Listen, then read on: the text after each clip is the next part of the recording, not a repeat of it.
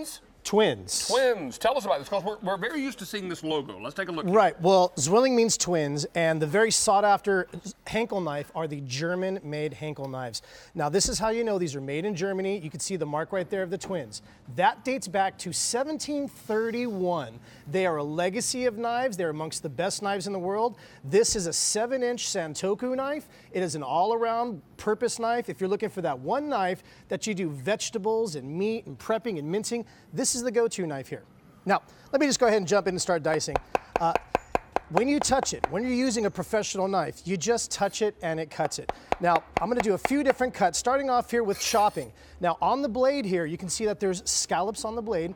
What that does, it allows air to pass through. So when you're doing something extremely hard like a butternut squash, you know how hard these are, and if you've used a blade and you kind of get halfway through and you got to pop it, well, this just allows it to slice through nice and easy. You see that? I literally just glide it through, one stroke through. So if you're doing a turnip or a potato or something that's really hard, again, just slice right through. It's really easy. Now, the next thing, use it as a meat knife. Again, this is that one all-around knife. This is grilling season. So, So, flank steak? flank steak, or in California, carne asada. Oh, That's yes. what we, or anywhere really. And again, just you got a beautiful knife. You see how that just glides right through. I can just pull this straight through. You're not going to crush that. You're not going to lose that meat. I could just glide this straight through. And yeah, I mean, you see, it is such a beautiful blade. When you use it, you just glide it through. It's, It's that easy super sharp. My extremely word. sharp.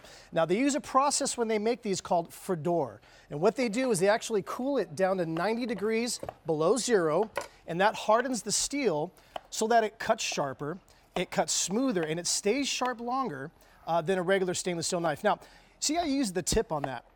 One great thing I like about this Santoku design is it has a point. So when you were just using the tip there, it glides through, uh, cuts a lot easier. Wow, this is amazing. Let me tell you also, thanks to our birthday celebration, there's some great Easy Pay on this. Uh-huh. But don't blink because that Easy Pay will go away. This Easy Pay only good. It's an expiring offer. Easy Pay goes away end of day today.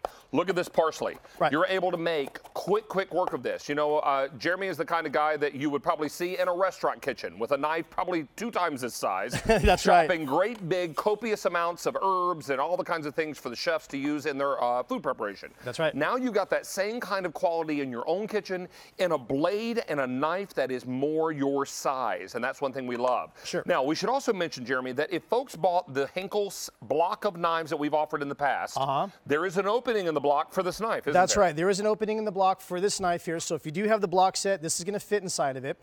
A great thing about this, like you were saying, is if you don't want to use that big eight inch chef's knife, that French style chef's knife, this is a little bit of a thinner blade here. So it's really nice and smooth. It's easy. It's also perfectly balanced. So when I hold it there on my finger, you can see that that's perfectly balanced. So you don't have a heavy blade or a heavy handle. So, and by the way, most, a lot of folks, if you look in your kitchen drawer, you probably got a drawer full of dull knives. Yep.